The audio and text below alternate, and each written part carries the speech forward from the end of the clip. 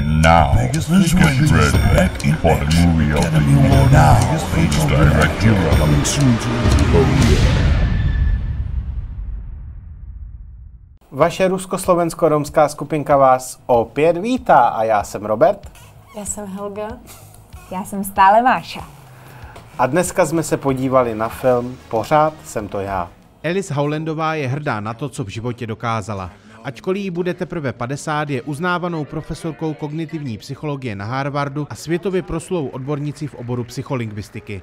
Má tři dospělé děti a úspěšného manžela, také známého vědce. Z ničeho nic se však u ní začne projevovat nezvyklá zapomnětlivost a chvilkové ztráty orientace a do jejího života vstoupí tragická diagnóza časné formy Alzheimerovy choroby. Nevyhnutelné příznaky počínající demence ji pomalu připravují o osobnost a dříve tak nezávislá a ambiciózní Alice se učí žít pro přítomnou chvíli. Zatímco dřív stavila na první místo akademickou kariéru, je najednou nucena přehodnotit nejen svůj vztah s manželem a očekávání týkající se budoucnosti jejich dětí, ale i své představy o tom, kdo je a jaké je její místo v tomto světě. Téma, který si vybrali, uh, neviděla jsem jiný film, který by mluvil o tady tomto, ale zase neviděla jsem tolik filmů jako třeba tady Robert nebo tady Helga. Ne, Robert. Robert. Tak tady Robert. Já mám i život. Mně to přišlo celou dobu jako takový asi vlogísek, nebo jakože takový nahrávání života. Um, tam nejde o žádný příběh jako nějaký prostě, ano, je tam gradující příběh samozřejmě a to je ta nemoc, ale není to myšlený, že prostě uh, máme tam záporáka, máme tam to, to, to, to takový ty klasické věcičky. Uh, je to, je to jako ze života. A to se mi asi líbilo. Myslím si, že to je uvěřitelný, to, co se tam děje, velmi. A, a jako člověk, jako já, jako někdo, kdo prostě taky jako prostě nemá úplně zdravý mozek, řekněme, a nepracuje to správně tak, jak by mělo, tak se prostě dokážu stotožnit jako s někým, prostě, který, s někým, kdo prostě se narodí s takovou nemocí a jako ta postupně přijde a vlastně ti sebere úplně všechno, což si myslím, že v tom filmu bylo skvěle ukázané právě na tom, že teda ona je jako high society prostě, jakože, jakože z vyšší společnosti ta dáma, ta Alice a najednou prostě jako přichází úplně o všechno, o kariéru, o vzpomínky, jo, že to je prostě taková situace, která která se mě dotýká, řekněme, jako je to fakt tragická situace a vůbec ještě jak ona tam jako v jedné chvíli se jde podívat vlastně na ty ležáky v podstatě do té nemocnice nebo do toho pečovatelského domu, aby věděla prostě, že se tam asi nechá jednou ubytovat nebo ví, že tam prostě asi skončí, nebo prostě jenom aby viděla, jak to vypadá a s jakou silou to teda jako ona přijímá, prostě, že to fakt přijímá, tak to mi přišlo na tom jako nejsilnější. A taky se mi strašně líbilo, já jsem to jako nejdřív z začátku nepochopil a trošku mě to štvalo, taková jako ta měkká kamera, jaký to měkký osvětlení těch záběrů a čímž ale jako právě jak ta postupuje ten film, tak člověk pochopí, že všechny ty rozostřovačky a všechno, všechen ten, ta hloubka ostrosti vlastně symbolizuje to, jak ona přichází o tu paměť, že vlastně v jednu chvíli teda nepoznává svý, svý příbuzný a oni jsou jako rozmazaní, jako tou kamerou a pak se jako doostřujou postupně, jako ona teda jako začíná mít nějaký jako pojem o tom, kdo to je. Takže tohle, tohle chci taky pochválit. Taky mám s mozkem nějaké prostě věci a zažila jsem v rámci některých věcí jako absolutní zmatení, že jsem nevěděla, kolik je 2 plus 2, nevěděla jsem najít v kontaktu, nevěděla jsem, jak se říká tomu člověku, který mě porodil, vůbec jako nevěděla jsem trefit, takže jako ten, přes, jako ten pocit té hrůzy a toho úplného strašného zmatení známý, když samozřejmě ne tak jako člověk s Alzheimerem, který to má furt a graduje mu to a tak, ale jako být něco takovou kapičku z toho, z toho jakoby to, takže to jsem tam, to mě tam jakoby, jsem to tam s ňou soucítila v tom taky, ale to je právě ten problém, že jako, i když jsem jakoby nějak soucítila, tak já jsem to až tak neprožívala. Pro mě ten film byl nějak emočně plochej. A třeba vůbec jsem, já, já chápu, o, o, o co tam šlo, že ukázat ten kontrast mezi tou Kristen Stewart, která jakože byla ta dcera, která byla taková ta citlivá, která fakt toto, ta, ta, ta druhá byla taková, no, Odtažitá. odtažitá a jako já tomu rozumím, o, o čím se to snaží říct, ale to mi ještě jenom přidávalo na tom, že ona, když jim řekla, že má to Alzheimer, že to postupuje, tak ta scéna byla taková celá nějaká slabá, jakože čekala jsem tam mnohem víc. Pak, když tam měla ona ten speech, tak to bylo takový přesně, jak si říkala, takový strašně americký, takový kliše, takový, takový příliš, jako nevím, mně to přišlo, mě, uh, jo, jasně, tady mám ještě, že je takový sterilní, jako že by to šlo jako textbook, příklad toho, jak máš natočit film a takovéhle věci. Jako to, že se rozhodli tohle sfilmovat, to taky oceňuju, že to je důležitá věc, na kterou určitě třeba upozorňovat a tak. Ale přišlo mi to, že je to takový nějak, že v tom není úplně duše, že, že, že to, anebo možná, možná je, jenom mně to přijde moc takový jednoduchý. Mně to přišlo zase tak nějak jako basic, jako obyčejný.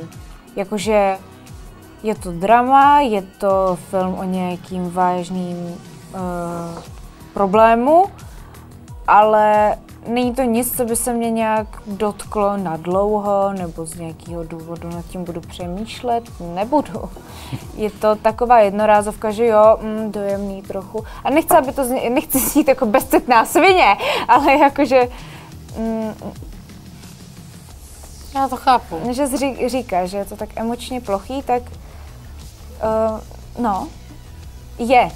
Všichni byli atraktivní, všichni byli bohatí, všichni byli zabezpečení, všichni měli dobré kariéry, jako to je takový, proto mi to přijde takový, jak samozřejmě, že takových lidí jsou a je jich spousta, ale to prostě přidávalo na té celé sterilnosti toho, že všechno vlastně bylo super, teda až na to, že ona měla tu Alzheimerovou chorobu a celý to bylo takový nějaký ach. A nemohla jsem si pomoct a představovala jsem si, že kdyby, když se tohle děje nějakému člověku, který nemá ty prostředky a tu extrémní podporu, jakou měla ona ve své rodině, i prostě v tom, že měla dobrýho neurologa a tak dále, Uh, tak jakoby, myslím si, že to by mě zasahlo mnohem víc, jako sledovat člověka, který, já nevím, třeba jako uh, hůře je postavený společensky a tak dále, nemá takovou podporu, jak se s tímhle vyrovnává. Já neříkám, že to, nechci to porovnávat, nechci říkat, že její utrpení je proto menší, to ne, jenom říkám, že v rámci té celkové sterilnosti a emoční plochosti podle mě tohle všechno hrálo nějakou roli pro mě.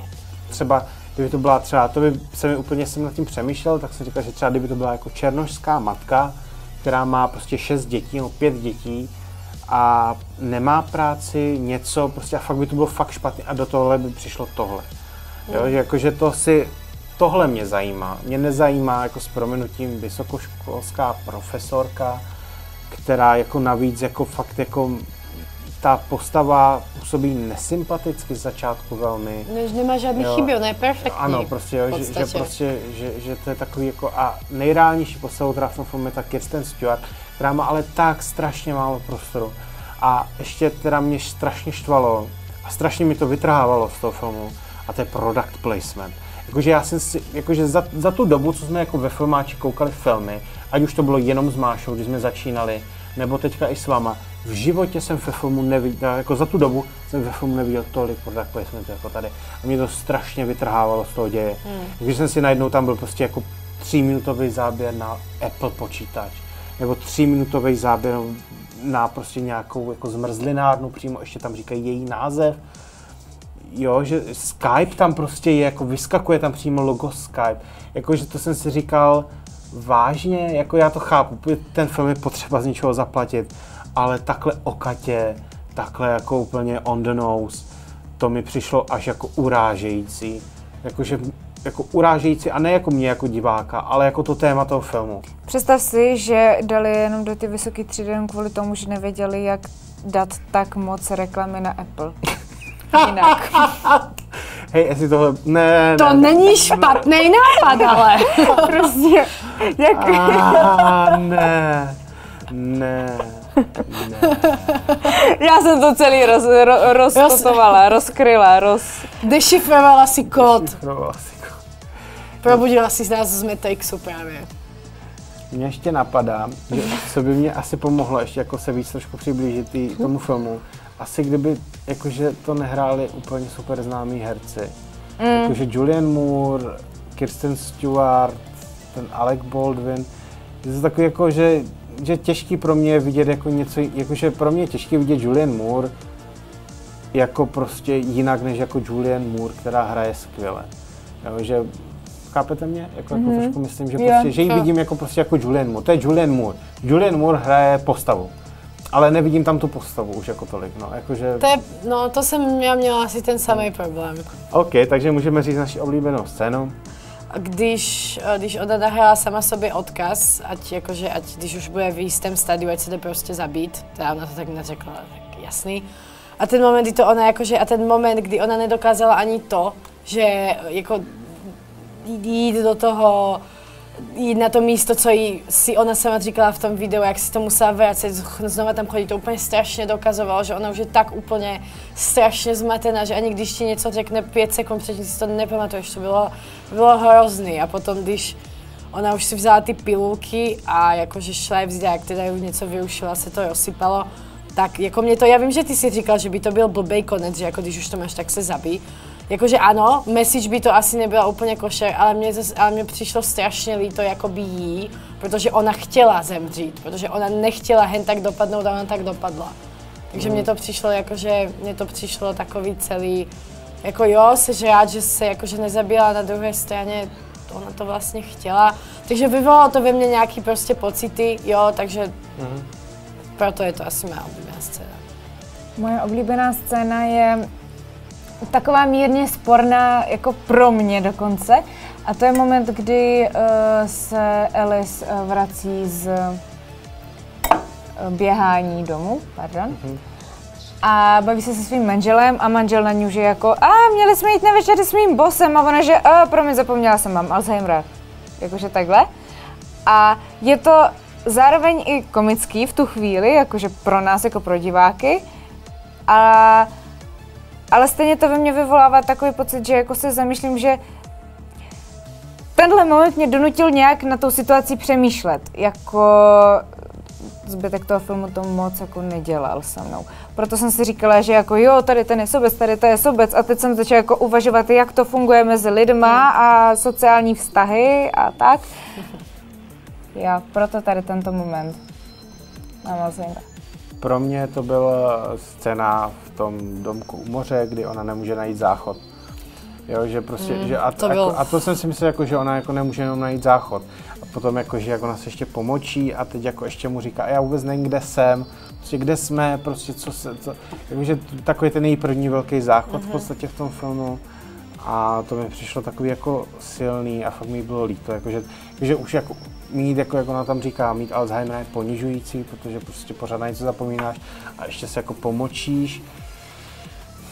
Jo, že to je takový jako těžký, no, jakože to, to, mi, to mi, to byla jako první chvíle, kdy jsem se s ní nějak jako dokázal na ní napojit, tak, a tak jako jedna z posledních film.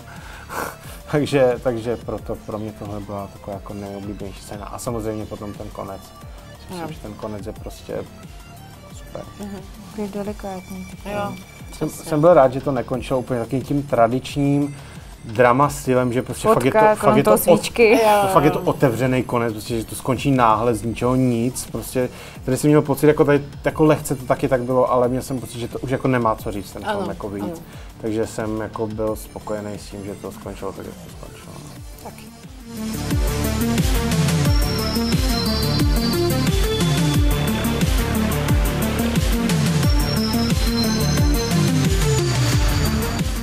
Děkujeme, že jste koukali, já jsem Roborob Já jsem Helga. Já jsem Máša. a příště se už snad uvidíme s Kubou. Mějte se To nejdu hezky. vidět. Čau. Čauko.